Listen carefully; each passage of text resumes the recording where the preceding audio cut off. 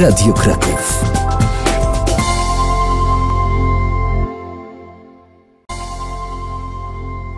Szanowni Państwo, ja powiem tylko tyle. Zielony listek, odpowiedzialność i młodzi kierowcy, a szczegóły rozwinie w Radiostradzie dziś Kuba Nieziński, jego gość. Witam panowie, dzień dobry. Dzień dobry Państwu, witaj Tomku i Piotr Leńczowski, Autoakademia. Dzień dobry Piotrze. Witam serdecznie. Zrobiło się cieplej, rodzice dają kluczyki dzieciakom, żeby trochę pojeździły, jak mogą oczywiście, tym, które mają prawa jazdy oczywiście. Tak. O, o tym myślimy. I tak sobie pomyślałem o odpowiedzialności, jeżeli chodzi o kierowanie przez młodego właśnie pojazdem, czy uczy się odpowiedzialności podczas kursu jazdy? Chyba nie. To jest raczej taki etap wychowawczy i on ma wiele składników. Tak naprawdę odpowiedzialność kształtuje się na bazie też doświadczeń, no i tego, jak jesteśmy wychowani. No, wszystko z domu wynosimy. Czyli, czyli na kursie raczej y, kursanci nie pytają o, o, o, takie rzeczy, co się może wydarzyć, gdy.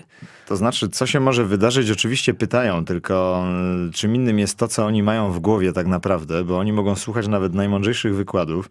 Oczywiście dobre szkoły starają się zawsze ten aspekt wychowawczy mhm. jakby kłaść na wierzchu, czyli pokazywać właśnie przykłady, uczyć na błędach innych. Natomiast no, nie do każdego to trafia. No jednak młodość ma swoje prawa. A podczas jazdy, bo to są y, część teoretyczna i podczas tej te części teoretycznej faktycznie sporo tych tematów się porusza.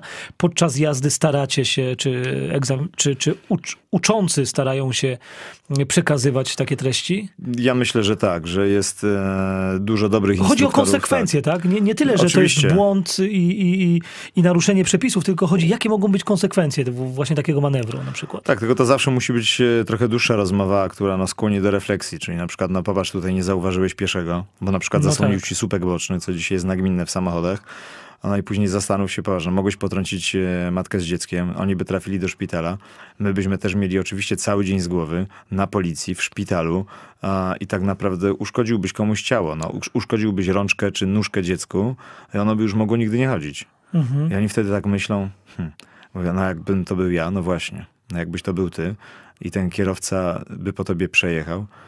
No, jest to bardzo trudny temat. Yy, u, u, na jednych to działa, inni no, często dopiero po, po wielu latach jazdy samochodem, czy też nie daj może po jakimś traumatycznym przeżyciu, e, którego osobiście doświadczą, dopiero mhm. wtedy zaczynają zdawać sobie z tego sprawę. Tylko czasami może być za późno. Może być za późno. Samochód jest to rzeczywiście narzędzie, które może skaleczyć innych, E, bardzo ciężkie, rozpędzone, które ciężko jest zatrzymać.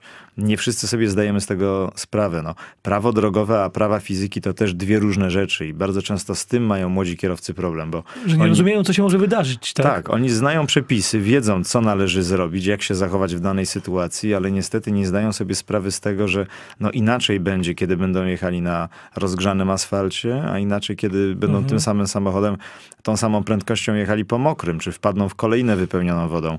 E, dlatego my cały czas z nadzieją czekamy, że wejdą te szkolenia dodatkowe. Natomiast tak naprawdę no, na etapie zwykłej szkoły jazdy, tak naprawdę zwykłej, niezwykłej, no, po prostu dobrej szkoły jazdy, już możemy wszystkie te rzeczy pokazać, bo przecież nie musimy specjalnie na płytę jechać, żeby pokazać, jak się auto zachowuje w kolejnie. Oczywiście gdzieś w bezpiecznym miejscu. E, przez chwilę ten kursant sam zorientuje się, że no coś rzeczywiście dzieje się złego z kierownicą. Kiedy jest obok instruktor, oczywiście jest łatwo nad tym wszystkim zapanować, pokazać, dać taki dobitny przykład.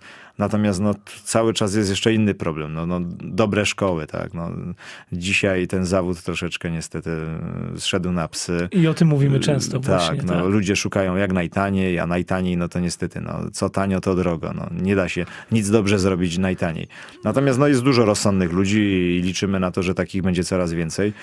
I tak naprawdę, czy ci młodzi kierowcy zawsze muszą być sprawcą, czy oni są rzeczywiście sprawcami? No właśnie, zmierzasz do tego wątku, o którym rozmawialiśmy poza anteną, że nie zawsze nieodpowiedzialni to są młodzi. Tak, tak. I... Bo nieodpowiedzialność bardzo, bardzo y, często pojawia się także już wśród teoretycznie doświadczonych kierowców, tak? którzy mają Oczywiście. lata za kierownicą.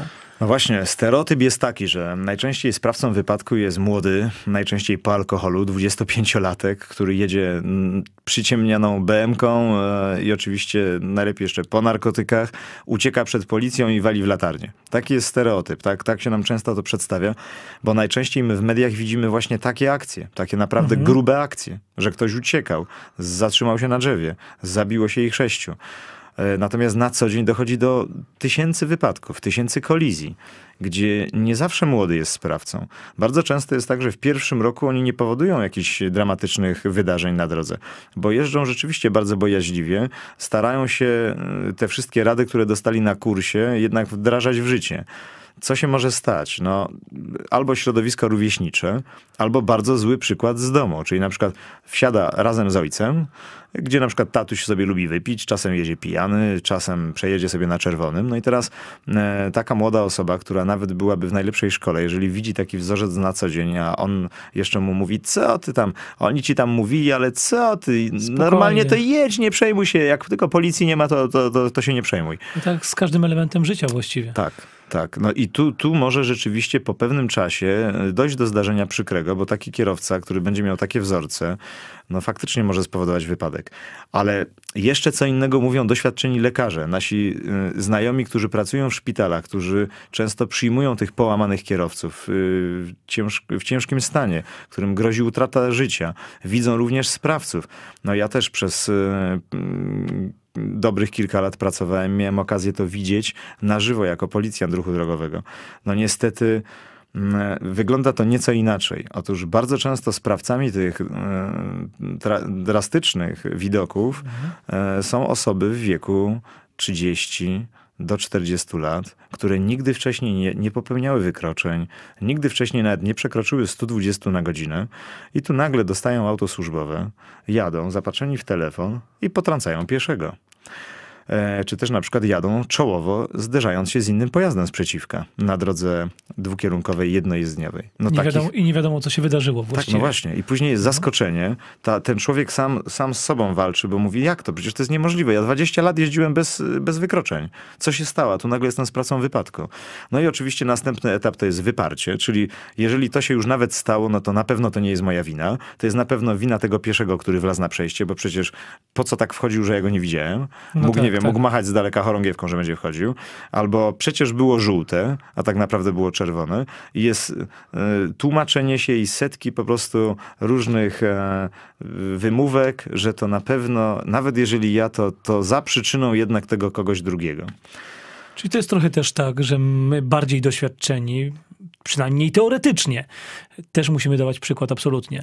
Musimy. I, i, i, musimy patrzeć na siebie. Moim zdaniem nie coraz wyższe mandaty, tylko presja społeczna. Po prostu musimy się uczyć sami na własnych błędach, analizować codziennie swoją jazdę. I podam taki przykład. No, jeżeli stoję przy przejściu, patrzę na tego kierowcę z daleka, też yy, pokazuję, no, że ja tutaj jestem. Yy, jeżdżąc samochodem, zatrzymuję się ostentacyjnie, kulturalnie, ale nie nagle, tylko tak, yy, żeby inni widzieli. Że, kierunkowskaz, co robisz, tak? tak kierunkowskaz używam za, zawczasu i wyraźnie, żeby widział, co ja będę za chwilę robił. Nie zmieniam pasa jednocześnie kręcąc kołem i włączając kierunkowskaz, tylko wcześniej włączę kierunkowskaz, dopiero później zmieniam pas. I powiem, e, o, ostatnio bardzo ciekawą rozmowę miałem z, z, takim znajomym lekarzem i on mówi tak, bo on jeździ dużo na motocyklu, podobnie jak i ja. I mówi, słuchaj, rzucił kiedyś facet peta z samochodu. On mówi, że miał na tyle czasu, że szedł z motocykla, wziął tego peta i wrzucił mu z powrotem do auta. I mu mówi, no proszę bardzo, to jak nie masz popielniczki, to sobie zorganizuj. A to, co się w tym aucie działo po wrzuceniu tego peta, to mówi, że po prostu widok nie do zapomnienia. Jak facet walczył z tym petem, żeby mu czasem siedzenia nie zapalił. I on mówi tak, a teraz pomyśl sobie w drugą stronę.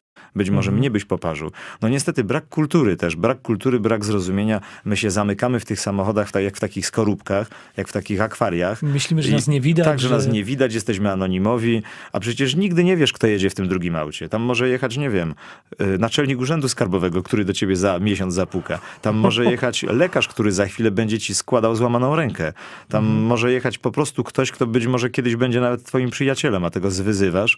No więc zachowujmy Kultura. się po prostu kulturalnie i ta presja społeczna z czasem na pewno, podobnie jak i w Niemczech czy w Austrii, jakby wymusi e, lepsze zachowanie na drogach. Piotrze, zaczęliśmy od młodych kierowców i na szybko jeszcze skończymy o młodych kierowcach, e, bo przypominamy, zielone listki. Tak, to, to, to tak. jeszcze trochę czasu jest do tego momentu, ale nie do końca właściwie. Trochę nie do końca. Rzeczywiście przepisy są przekładane. Że w od, przyszłym roku? Tak, od 4 czerwca 2017 roku wchodzą zielone listki i to będą takie duże zielone listki, tak, rzeczywiście takie. 11 centymetrów. On będzie musiał być przyklejony z przodu i z tyłu na szybie. Mniejszy z przodu.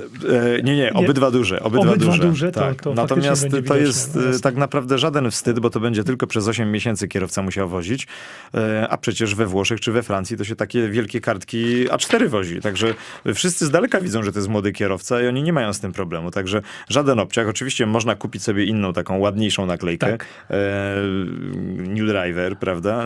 Nie jest to takie może obciachowe jak ten listek, e, bo u nas te przepisy 74 rok, no to bardzo dawno temu ten zielony listek był. Źle się kojarzy. Źle tak, się to... kojarzy, tak. Z niedzielnym kierowcą. A to jest mhm. nie zawsze prawda. Natomiast to, co powiedziałeś, że tak trochę e, za chwilę, ale już.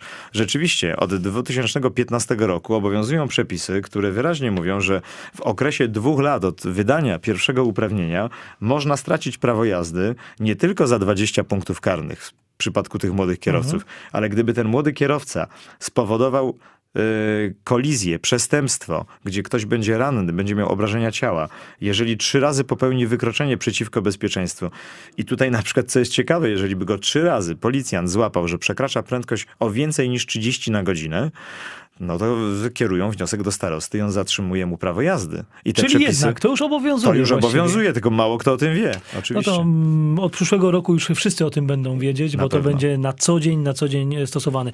Piotr Lęczowski, Autoakademia, był dzisiaj gościem Radiostrady. Dziękuję bardzo.